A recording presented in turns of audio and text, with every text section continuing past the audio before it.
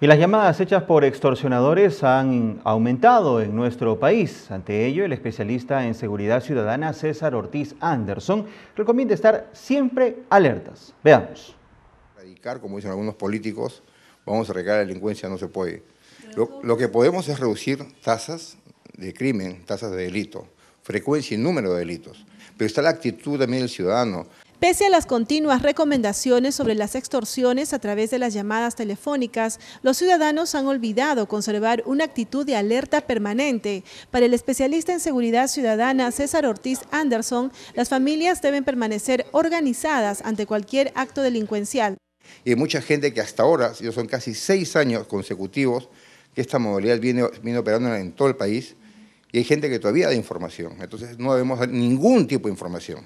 El sistema de comunicación interno que debe manejar cada uno de los miembros de una familia consiste en un código de respuesta que solo conocen los miembros del grupo familiar. Cuando ese código es conocido por alguien más, es momento de preocuparse. Bueno, lo primero es que uno tiene que tener como familia un código, un código familiar frente a una llamada extorsiva. Digamos que ahorita en este momento uno recibe una llamada extorsiva y tiene que decir, por favor, dame el código de seguridad en un gran porcentaje el delincuente le va a colgar y no vuelve a llamar porque sabe que esa familia está preparada.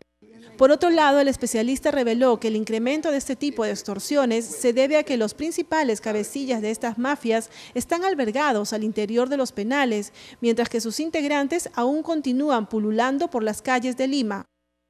Invocó a las autoridades gubernamentales que se cumpla con la instauración de los bloqueadores respectivos al interior de los penales en un corto plazo. Eh, va a demorar todavía, yo creo, unos cuantos días o semanas más, pero es importante poner bloqueadores a todos los penales del, del país y no solamente bloqueadores, hay otros protocolos como cámaras que protejan las 24 de estos bloqueadores para ver si los manipulan. Finalmente pidió a las familias peruanas no dejar de estar alertas.